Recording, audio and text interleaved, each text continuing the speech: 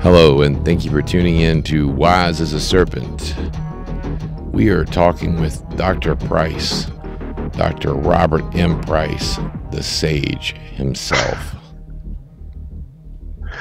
Uh, hi, this is uh, an interesting topic to me. Uh, does the Bible really condemn homosexuality? Uh, and uh, this is because I've had friends who are gay and Christian, and they feel guilty, and what the heck am I doing? And uh, it, but it even just as a matter of what does the Bible say, it always uh, intrigued me, and so I've done a whole mess of reading on this for years, and that doesn't mean uh, I must be right in what I say, right? That's, uh, but uh, this is at least one informed view, and um, basically what this entails entails is uh, going through uh, several Bible passages, and you probably already know the ones I mean. And I've got to also preface it by saying that the the, uh, the uh, scrutiny here uh, is partly a matter of exegesis, as they call it, and uh, partly of hermeneutics. What the heck is that? I'm not speaking in tongues, but uh, uh, the exegesis just means you're trying to figure out what the gr- underlying Greek text meant, uh, just grammatically and uh, the lexically, what the, the words meant and how we know uh, what, what uh, customs are presupposed, if there's any way to, to deduce that, and often there is, uh, and and so forth. Uh, and what did the writer intend? There are other ways of uh, reading the Bible uh, and trying to get something out of it, uh, many. But what we're interested in here is like what were the Bible writers thinking and saying, and the hermeneutics. Well, it comes from Hermes, the interpreting God, and hermeneutics is more of a uh, second order uh, approach, you're asking about the implications uh, for the reader of the, uh, the, the text. And uh, this usually this is brought up in the context of biblical authority, right, where people feel uh, bound to do what the Bible says to do and abstain from the things the Bible uh, condemns. Now, I, I, don't happen to hold that uh, view anymore. I haven't for years, uh, but I know that is what's at stake for a lot of people, uh, whether they want to obey the Bible or attack it if they disagree with it. Uh, so either way, it, I think you, you need to to uh, be alert to the implications here. What's it actually saying, and uh, what does that mean for people who take it seriously? Well, I'd like to, to start with the granddaddy of them all, the, the uh, story of Sodom and Gomorrah, and uh, it, I always think of this uh, song from this cheesy sort of uh, evangelical counterpoint to Jesus Christ Superstar. I'm sure you never heard of it, but it's uh, it's like a rock opera thing called uh, Truth of Truths, and there's the music is pretty funny, but fun to listen to. And uh, one of the songs early on is about Sodom and Gomorrah. It's it's really funny. The angels are singing uh, Sodom and Gomorrah, they're the cities of sin. The Lord has sent us to destroy them. I mean, it's really funny. You can picture this on Dick Clark or something. But uh, what is the deal with that? Uh, of course, everybody always says, well, God uh, condemns homosexuality. He blasted uh, both of those cities uh, because uh, they were rife with sodomy and homosexuality and so forth. And therefore, homosexuality has to be wrong if you're looking at it through the, the lenses of the Bible. Well, I, I used to assume that uh, that you know even when I didn't think I was duty bound to uh, agree with the Bible, but I I still assumed that was the point, and I knew that some. Um, biblical scholars said, "Well, no, uh, that's not it. The the story is not about homosexuality." And I thought, what? How can you must be twisting the text. Uh, uh, of course it's about that. But then i started reading more in depth about what these scholars had to say. And uh, in the end i thought son of a gun they're right. Uh, I've been just taken for granted what I always heard, but looking at it in some depth, it looks a whole lot different.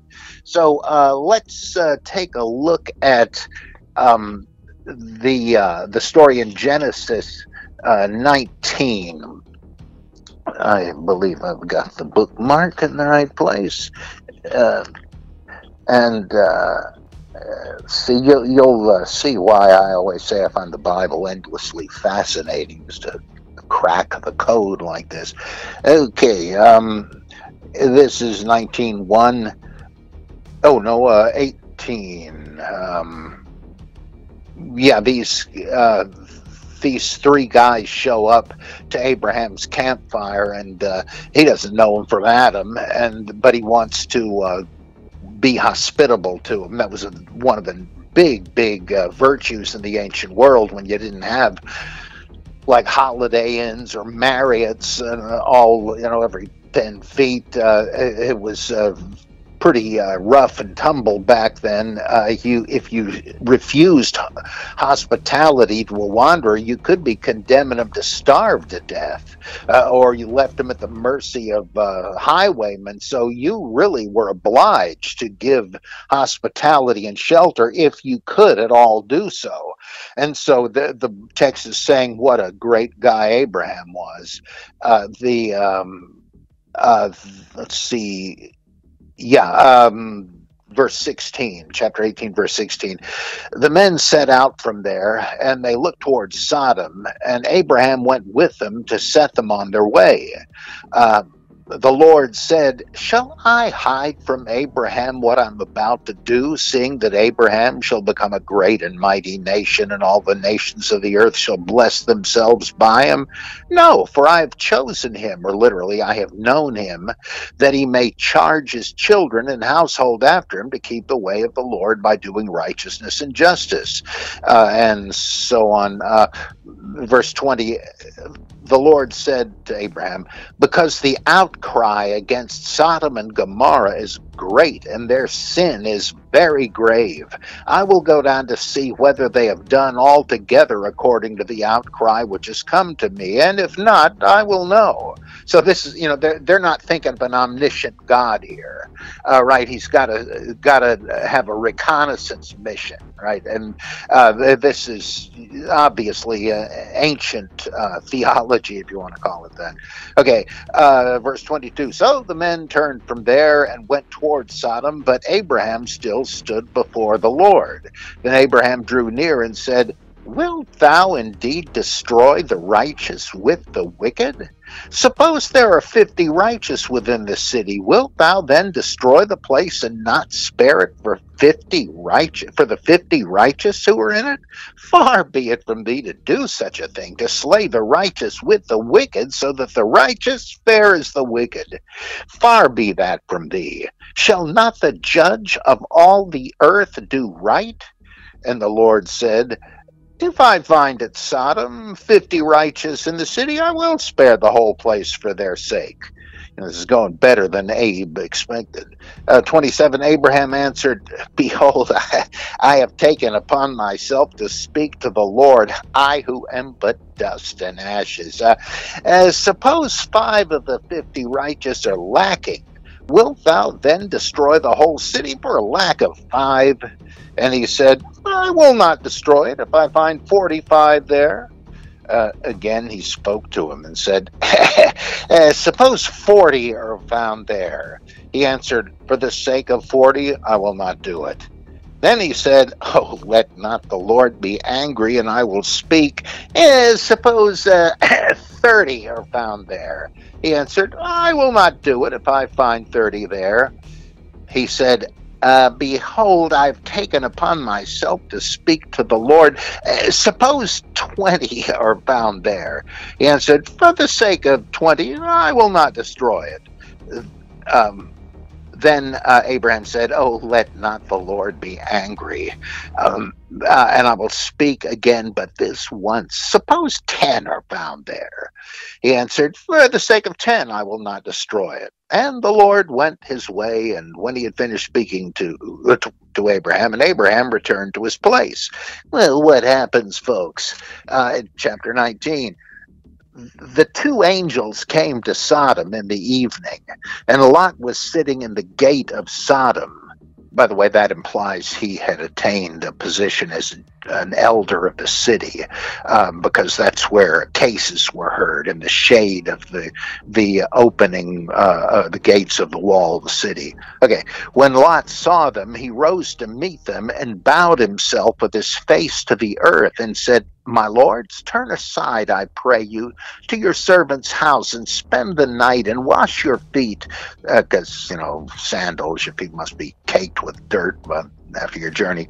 Uh, they said, uh, No, we will spend the night in the street but he urged them strongly. So they turned aside to him and entered his house, and he made them a feast and baked unleavened bread, and they ate. In other words, he, he's just like his uncle Abraham. He doesn't know who these guys are, but it doesn't matter. They're they're lone travelers, and he needs to take care of them, right? Okay, uh, verse 4 But before they lay down, the men of the city, the men of Sodom, both young and old, all the people to the last man surrounded the house. And they called to Lot, Where are the men who came to you tonight? Bring them out to us that we may know them. Lot went out of the door to the house, to the men, shut the door after him, and said, I, I beg you, my brothers, do not act so wickedly. Uh, behold, I, I have two daughters who have not known man. Let me bring them out to you, and do to them as you please, only do nothing, for they have come under the shelter of my roof. But they said, Stand back. And they said, this fellow came to sojourn and he would play the judge. I mean, he's a foreigner, right? And he, he's telling us what to do. Uh, now we will deal worse with you than with them. Then they pressed hard against the man Lot and drew near to break the door. But the men, the angels, put forth their hands and brought Lot into the house to them and shut the door. And they struck with blindness the men who were at the door of the house, both small and great, so that they wearied themselves groping for the door. Now, where's that door? I saw it a minute ago. Uh, then the men said to Lot, uh, the two angels, have you anyone else here, sons in law, sons, daughters, or anyone you have in the city? Bring them out of the place, uh, be, for we are about to destroy this place because the outcry against its people has become great before the Lord, and the Lord has sent us to destroy it. So Lot went out and said to his sons in law, who were to marry his daughters, Up, get out of this place, for the Lord is about to destroy the city but he seemed to his sons in law to be jesting. Um, uh, there's uh, there's more to it, uh, but but he does pretty much nuke the place. And, and, you see what's going on here. God, who, who we have to assume knew what was going to happen. Uh, he, he, was pretty sure all those rumors were true. And he says, "Oh, uh, you you think uh, 50 is uh, you know too many to destroy the whole? Well, sure, okay, let's negotiate. What 45? Yeah, sure, why not 40? 35, 20." five. Hey, what the heck? All right, you know, uh, let's let's go with that figure. And so he figures. Well, Abraham figures. Whew, I guess I just uh, saved those guys' butts. Uh, but uh, no, uh, the text says that there wasn't a single resident of Sodom who didn't pound on the door uh, asking for those men. The whole town was a nasty mob. Now, what was it they were planning to do? It says, "Bring them out that we may know them. Well, because uh, 10 times in the Old Testament, uh, the Hebrew word for to know um, has the implication of to have carnal knowledge, to have sex with, right? Uh, like uh, Genesis 4 1, uh, Adam knew his wife and uh, brought she brought forth his son Cain, right? He knew her sexually, right? Well, people have gratuitously thought, oh yeah, that's what the uh, the Sodom mob wanted to do.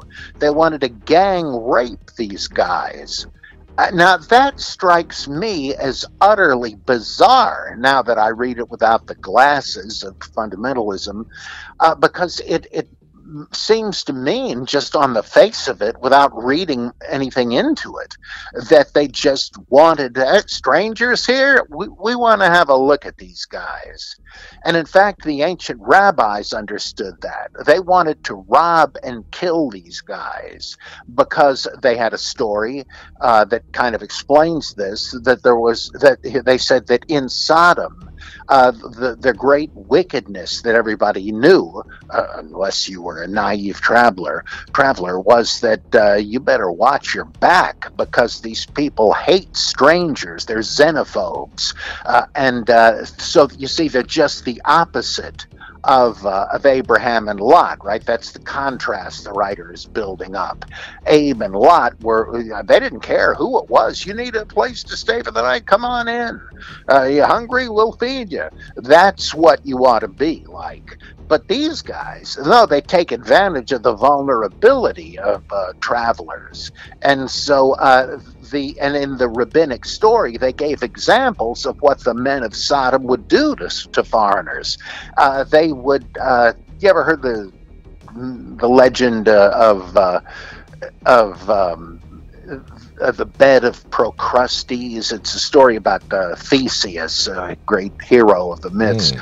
Uh, he uh, he um, learns about this guy Procrustes, who is an innkeeper, and he uh, he takes advantage of strangers. They come in, yeah, I gotta have a room for the night. Oh, okay, come right this way, and he uh, t- he says, "Here's your room," and the the the person will say, "Wait a minute, I, I'm too tall for this bed. This is like a kid's bed. I, I can't do lie down in this full length." And he's, "Oh, sure you can. Look," and he shows how the the footboard and the headboard both have holes sawed in them, and uh, just uh, you know, stick your feet out of the holes, and you'll sleep like a baby, no problem. Well, okay, if you say so. Well, Procrustes listens outside the room until uh, he hears the snoring, and then he takes out the hacksaw and uh, starts uh, attacking and dismembering the unsuspecting guest and robs him. Uh, and that's what the rabbis said the men of Sodom would do anytime they got a hold of a stranger. You notice what's conspicuously absent from that version of the story nothing about sex, nothing about raping the uh, the, the, visitors, right? Uh, and uh, so it, now the reason people thought so that it did was the fact that a Lot tries to buy off the, the raving mob uh, by saying, "Look, I, I, got something else that'd be a lot more fun for you. Here, why don't you uh, do whatever you want with my virgin daughters?" What the hell? You might think, what, what is he? Is this he's supposed to be the good guy? Well, oddly enough, uh, it seemed though it's abominable to us, and we would never do this. Uh, it sort of does make sense in terms of the ancient, uh, I should say, primitive mores of the day, because hospitality was so vitally important. Lot is being depicted as someone who would make the ultimate sacrifice not to betray the people he's given shelter to. And if it means his daughters are uh, horribly treated, oh God, that's terrible. But what can I do? I've, I've given my word to these guys. I mean, again, it sounds ridiculous and horrific to us, but I don't think it would have to, to the ancients. Uh, not all of them, anyway. I mean, you know, some hundreds of years later, the uh, the uh, rabbis had this other version, but that's how they read it. That's what they thought was going on. Uh, and uh, also to, to buttress that, if you turn over to a very similar story in the book of Judges, uh, verse uh, uh, chapter, I think it is 19. Oh, have I got it here? Uh, yeah, I sure do. And if I can just get my glasses on again.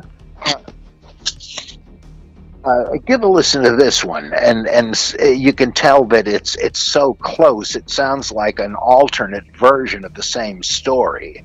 Uh, just that somebody couldn't quite keep straight who the main characters were, uh, and uh, just uh, filled the gap with his imagination. Uh, boy, these thin Bible pages. What a nuisance. Uh, okay, yeah. Um, yeah, listen to this one. Uh, in those days, this is 1901, in those days when there was no king in Israel, a certain Levite was so- sojourning in the remote parts of the hill country of Ephraim, who took to himself a concubine from Bethlehem in Judah. And his concubine became angry with him, and she went away from him to her father's house at Bethlehem in Judah. And there uh, arose oh, uh, and and was there for some four months. Then her husband arose and went after her to speak kindly to her and bring her back. He had with him his servant and a couple of asses. Uh, of course, he means donkeys. I don't know why they keep this translation. Uh, and he came uh, to her father's house. And when the girl's father saw him, he came with joy to meet him.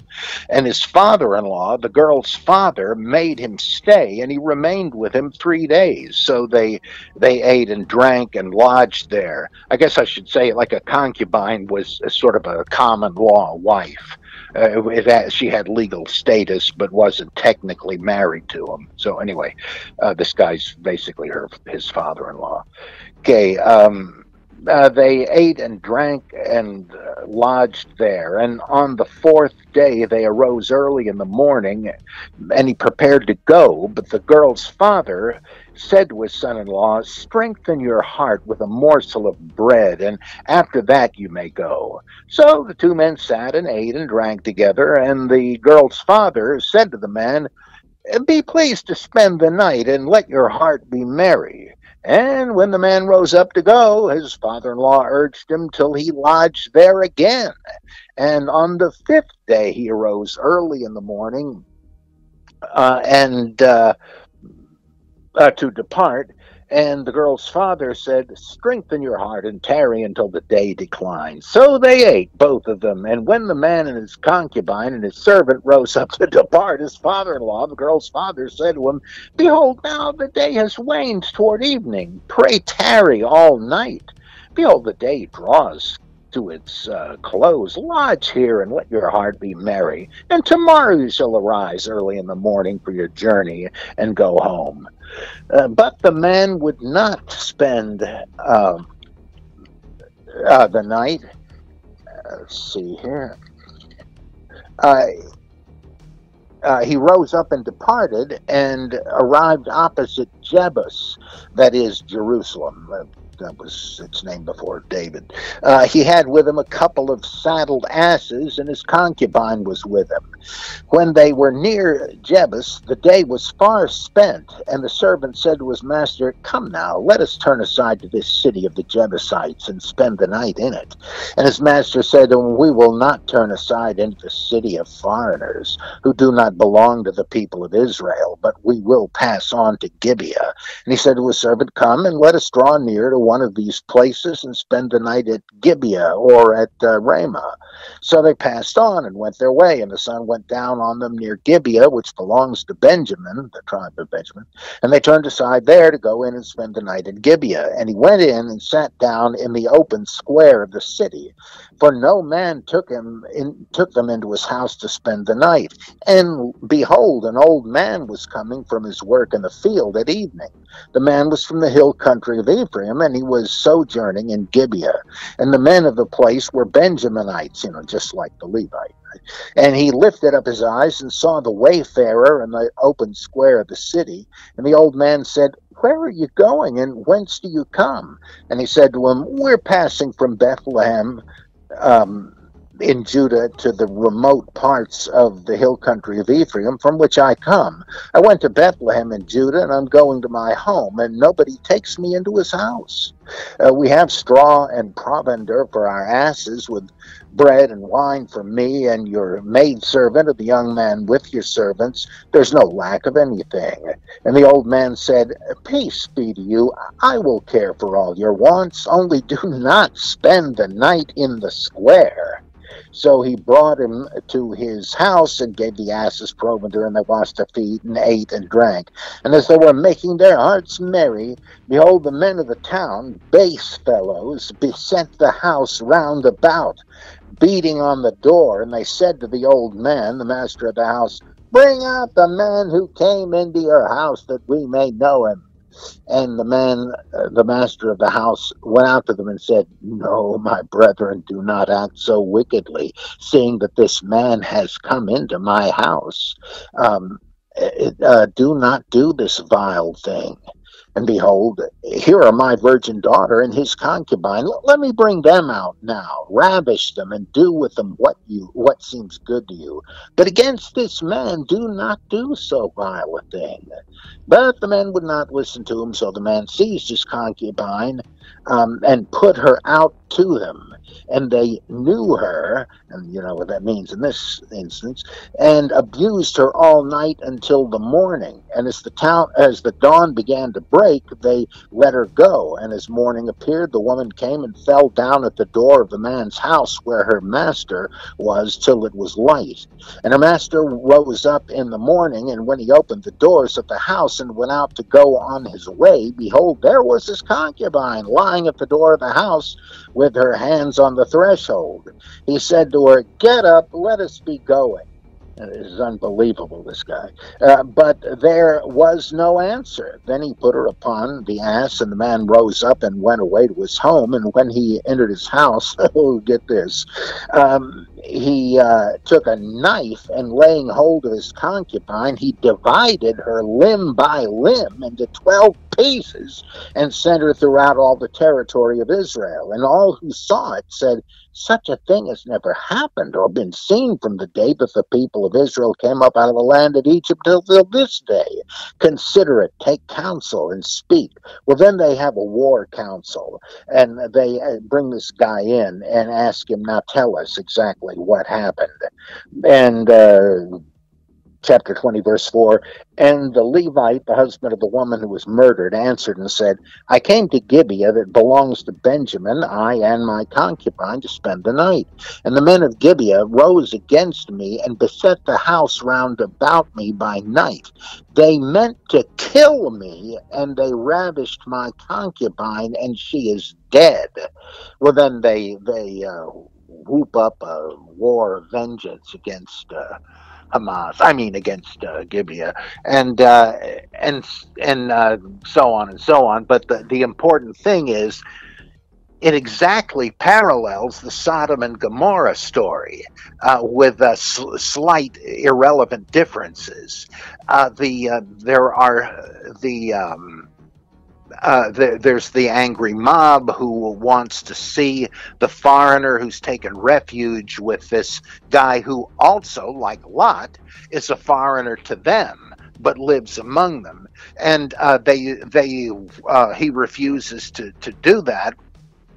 They uh, threaten him and surround the house, and and so forth. And he does uh, give the, the woman to, to them to mollify them like lot offered to. Uh, and uh, what was it they had intended to do to him? Right? It, if the way you most people take the sodom and gomorrah story they say well they must have been a gang of gay rapists too and and so forth. But no though they raped the uh, uh, the woman to death, this is something you wouldn't expect if they were gay, right? If they're male homosexuals.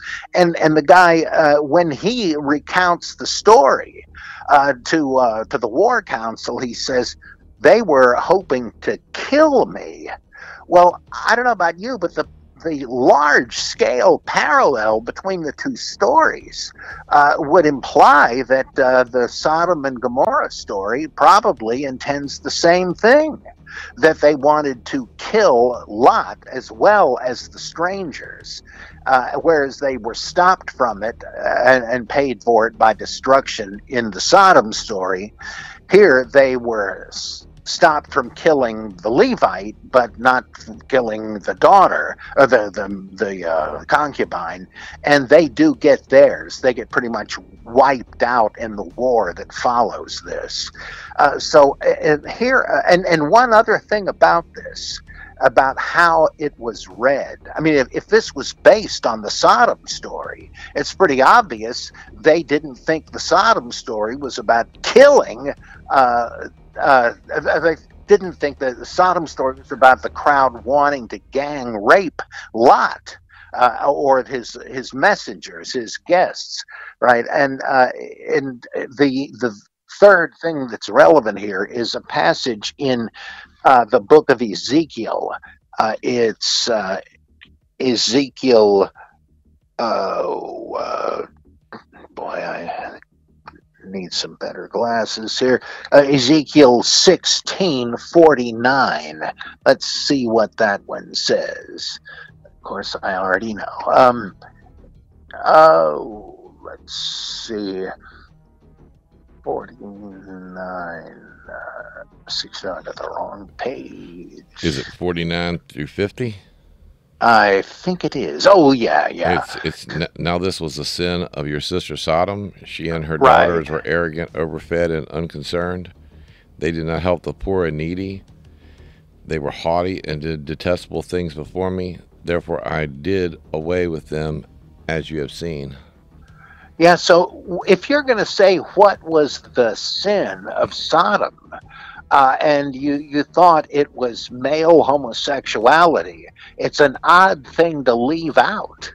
Right here, they're they're talking about mistreatment of fellow human beings, but it's the poor to whom they were indifferent, uh, and so again, uh, that doesn't prove that it wasn't about homosexuality. But it seems to me, given the alarmed horror with which people read this, uh, uh, because they think it's about homosexuality, it seems to me that the, the, writer of Ezekiel didn't uh, even associate that with a story. Uh, what detestable things did they do? Well, could have been, well, he just told you, uh, but it also could have been uh, uh worshiping other gods, which it elsewhere says in uh, Ezekiel that that was a big sin of, of the Jerusalemites, who he compares to the the men of Sodom. So th- this is why I changed my mind on this. That it's it's not like this is explicitly about homosexuality one way or the other. But suppose it was. Suppose it, they imagined the uh, the men of Sodom uh, were did mean. I'm sorry. Uh, I suppose it was. But suppose the traditional reading is right that they wanted to gang rape uh, the the men whom they don't realize are angels. Uh, does that condemn homosexuality per se? Uh, not I- unless you equate being gay with being a rapist, right? Uh, it's just like I mean, there are plenty of, uh, regrettably, plenty of uh, uh, heterosexual rapists would just say, well, there you go. What do you expect from a heterosexual? It, you can easily see how ludicrous that is. But uh, people just make this sweeping general generalization here, and uh, it's it just shows how people don't think about this. Um, let me uh, jump over quick to Leviticus uh, where there are two very famous passages that are not narrative in nature, but uh, are laws uh, given in the so called Holiness Code of Leviticus. Are you talking um, about Leviticus 2013? Yes, and uh, 1822. They're pretty much the same, but one has a price tag on it. In 1822, it says, You shall not lie with a male as with a woman. It is an abomination. Uh, what, um, and then similarly, 23, you shall not lie with any beast and defile yourself with it, neither shall any woman give herself to a beast to lie with it. It is perversion. And then the, the, uh, the twin passage uh, is uh, Leviticus 20 13 if a man lies with a male as with a woman both of them have committed an abomination. They shall be put to death. Their blood is upon them uh, now what is an abomination? Uh, here's another thing people just read right by. Uh, abomination the, the, english word really translates uh, a word hebrew word meaning confusion or mixture. And when you look at the big context of this what you have is uh, a bunch of laws that don't deal immediately with morality. That's why adultery is not addressed here. That would be, you know, betrayal of your spouse. That that would be a moral uh, sin. But this is a, a ceremonial one. Uh, when it says that a man may not have sex with a man or an animal, uh, you're dealing with a whole different thing. This is uh, this is quote wrong for the same reason that it said it says in the same book you can't eat pork, you can't eat lobster. What the heck? What what's wrong with them? Uh, well, uh, this that they had a taxonomy, right, a, a, system of classification of animals that was the basis for the kosher laws. Uh, they said that uh, if an animal did not uh, meet the criteria to be classified as um, livestock that, that you could slaughter and eat, you you couldn't eat it. It's off limits. And why were pigs off limits? Why weren't they on the menu? Well, because to be cattle or livestock, a creature had to have two things. Uh, it had to have cloven hooves and it had to chew the cud. That is, you know, chew the grass and digest it in one stomach and it comes back up. You chew it again, it goes to another stomach and even a series of stomachs. Uh, and pigs don't do that. Right? And so the you couldn't eat a pig. It it defied the categories of God's creation. Similarly, with a with a shrimp or a lobster, a crustacean, uh, it does it lives in the water, but it doesn't count as a fish, which you could eat, because fish uh, swim through the water with fins but crustaceans don't. They drag themselves across the bottom of the sea with legs. And so uh, you might think fish, but no. Seafood, yes, but not on the menu. Uh, now, how how could these things, if God created them, how could they defy the categories of creation? Well, actually, there's a weird but simple answer to that. They borrowed this from Zoroastrianism, uh, and the Zoroastrians believed that Ahura Mazda, the good creator god, had not created nasty little things like snakes, scorpions, uh, termites, spiders, and all that. Uh, and uh, so they were they wouldn't eat them. Well, that's how they the ancient Israelites got it. They they borrowed it from them, and so they said, "Well, uh, you're you you're confounding the categories of creation uh, because God didn't create these." so you have no business eating them. Well, you see, that has nothing to do with morality or even of hygiene right? It's it's simply a matter of uh, observing the taxonomy. It's like anthropology, but it was sacred taxonomy. Oh, hey, God drew this up we better, of course, the priests drew it up. We we got to obey it. So it was like a, a ceremonial refra- infraction. Uh, it was like offering uh, food to idols, or uh, or not uh, wa- washing your hands after touching uh, a running sore or a corpse like the doctors would become ritually unclean after treating a patient, and they would have to go through a purification uh, rite before they could socialize again or go to the temple. It wasn't that they didn't want them um, fixing up the injured. No, they had to have that. Or morticians. If you touched a corpse, you were rendered unclean. But of course, you had to do that. You had to bury the dead.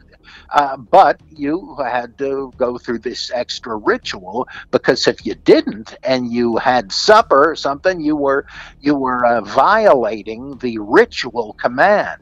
Now, all of that to say that homosexuality is mentioned here as an abomination. It, it defies the the categories.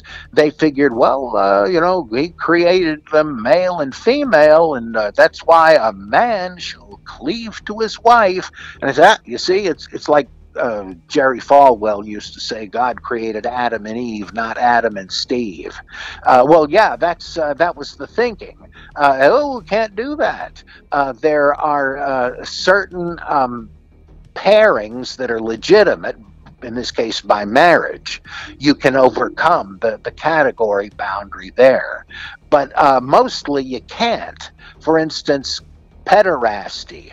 Uh, you can't do that because that would you would be violating the wall between adults and children. Uh, and or the bestiality thing. Hey, you you can't start getting cozy with an animal. I mean, physically it's possible, but uh, it, it's against the uh, the categories of creation. And so, uh, all of that to say, homosexuality, though clearly forbidden, right? No question about that in in Leviticus. Why is it, and is it relevant to um, Bible believing Christians today? I would say it is not. It's like uh, how Paul says, hey, look, you're in the new covenant. You, you don't need to worry about the holy stipulated holy days and dietary regulations and fasting and all. Don't let anybody bother you with that stuff if you're a Gentile Christian. Well, it's the same thing here, I think. Uh, it's not commanding you to do it, but if you're in the New Testament, the new covenant, this doesn't apply any more than uh, you can't eat shrimp it seems to me. And so there again, it's clear exegetically what it says, uh, but it isn't hermeneutically. It's not clear how duty bound Christians have to take this seriously. And I don't think they do. I mean, again, it's nothing to me because I'm not a biblicist anymore. Uh, but those, even those who are, I think, don't really need to lose any sleep over that one. Um, and uh, you know who's going to know this? Uh, this is why you have geeks like me to uh, study these crazy things. Um, uh, now let's jump over to the New Testament, and this can be done much more quickly. Uh, there are two similar passages that where where translators kind of cheat and and read homosexuality per se into them, and I think uh, it's it's quite dubious. Now, the first one would be uh, in First Corinthians, and uh, this is. Ooh, I thought I marked this. Oh, wait a minute. Here we go. Six nine uh, through eleven. You betcha. Oh, prophetic one. I'm sorry. I mean, I, I no, no. Hey, the Bible. I mean, I know the Bible back and forth. Right. Um, uh, yeah, it says, "Do not, uh, uh, do you not know the unrighteous will not inherit the kingdom of God? Do not be deceived. Neither the immoral, nor idolaters, nor adulterers, nor homosexuals, nor thieves, nor the greedy, nor the drunkards, nor the revilers, so on, will inherit the kingdom of God." Is that what it says in the Greek? No, it ain't. Uh, the footnote in the RSV says, well, actually, two Greek words lie behind uh, what we've translated as homosexuals. But the two words, I'm sorry, were you about to, to explain this? I don't want No, no, I was, you're doing fantastic. I was about to say you're exactly right. That's not what it says in the Greek. uh huh. Yeah, the two words are arsenokoitai, uh, which comes from the roots uh, for man and bed, meaning uh, either uh, it, it seems to denote either a male prostitute or a, a, customer of a male prostitute, one who beds men in a sexual sense but we're not sure because there are so few known instances of the word arsenokoitai uh, in surviving ancient Greek literature that we just have to try to break it down uh, lexically to those roots. And so it's it pretty much has to mean one or the other of the things, uh, like a, a, male prostitute or one who is a, a John of such a person. Um, what, but we don't know which. Either in either case, you're not talking about homosexuality. Period. Uh, it's uh, it's conceivable that's what he meant, but it's certainly not clear. Especially since the other Greek word is malakoi, which means soft ones. I think King James inter- uh, translates that effeminate. Well, they're closer to the mark there because that uh, that also is a rare word, uh, but it seems to refer to catamites, uh, prettied up uh, young boys who are are prostitutes, call boys, are sometimes referred to. Now, if that's what you're talking about, you're not talking about all homosexuals, right? You're simply talking about a kind of prostitution, which is not very surprising in the Bible, right? Uh, and the other one, easily dealt with, is First Timothy, uh, uh, chapter one, verses. Uh, ooh, uh, ooh, wait a minute. Well, yeah, okay, eight through eleven. Yeah. Yeah. Now, we know that the law is good if one uses it lawfully, understanding this, that the law is not laid down for the just, but for the lawless and disobedient, for the ungodly and sinners, for the unholy and profane, for murderers of fathers and murderers of mothers, for manslayers, Im, uh, immoral persons. Um, sodomites, kidnappers, liars, perjurers, and whatever else is contrary to sound doctrine and so forth. Uh, the, uh, the the kidnappers that apparently refers to a particular kind of kidnapper, namely uh, people that, uh, well, just like what's happening uh, thanks to Biden in with our open border, uh, sex trafficking of children. Uh, that's what they're talking about. They, they or what they, they call chicken hawks uh, today. That uh, where you, you grab young kids and, and force them to, to be pederastic prostitutes. But then sodomites in this. Uh, that uh, again is our old friend arsenokoitai, and so the same ambiguity exists there. Do they mean prostitutes uh, or customers of prostitutes? you don't know. And I, I always think this matters because can you imagine a, uh, a, a, fundamentalist preacher railing against homosexuals, saying, "Brothers and sisters, the Bible possibly condemns homosexuality. There's a 55% chance that God hates someone. They're not, they're not going to do that. Uh, they don't look at it that deeply. And uh, it, it just, you, you can't thunder forth on things that are not even clear in the Bible. Uh, and uh, that's because people want to be able to do that. They want to speak as if they were God. Well, the last one uh, is Roman uh, in uh, chapter one, um, Paul or whoever wrote this is uh, is uh, going into why the human race became sinful, uh, and it was because they became polytheists and idolaters, turning away from the real God, etc., etc.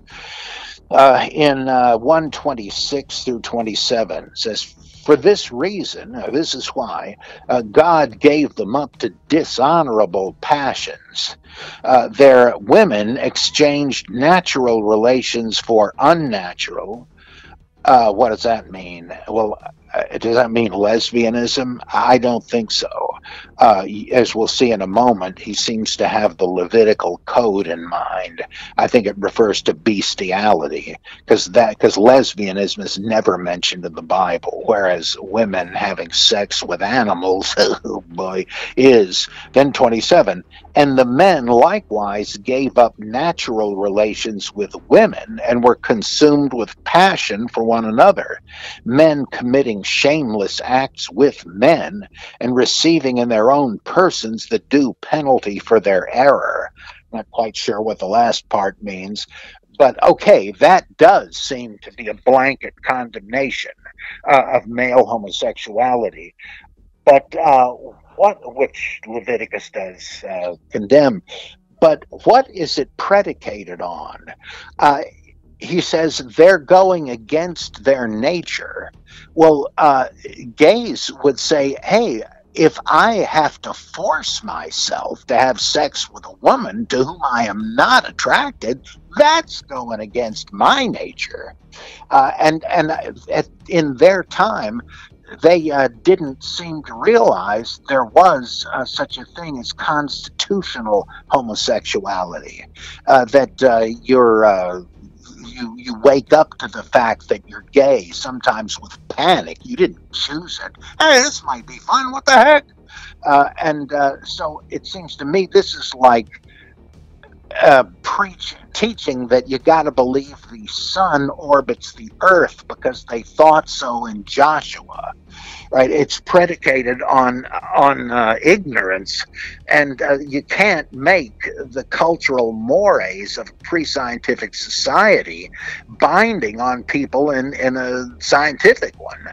And so there again we're not talking about exegesis but hermeneutics. Yeah i see what it says but they're not taking into account the, the main issue. Uh, so, should you feel bound by this? I don't think so. I don't see how. That, that seems unfair to me and uh, unfair to the Bible and to the, the homosexual. Um, so, uh, it's, so it seems to me, what have we got? What's the bottom line here? There are some places where uh, homosexual, precious few, where homosexuality is or might be uh, condemned, but it's predicated on an outdated view of, of the world and sexuality. But most of the places are either inapplicable because we're otherwise not bound by uh, the Levitical holiness code, where we, we follow the Ten Commandments, right? But that's that's all moral stuff except maybe for mm-hmm. the Sabbath, but uh, but not this stuff. Uh, and and then there's ambiguity uh, that uh, vitiate any appeal to um, passages like the First Corinthians and First Timothy. So, uh, should a, a, a gay Christian um, shudder in horror at expressing himself in in the only way that that he he or well, let's say he, because it's all about men mainly here in the Bible, uh, the only way he can. I, I don't think so. I think that's cruel and legalistic. Now, you might not want to be profligate uh, you might not want to have thousands of sex partners, but that's this is one of those things where, like uh, in First Corinthians, all things are lawful for me, but not all things are expedient. Uh, it's not smart for mm-hmm. various reasons.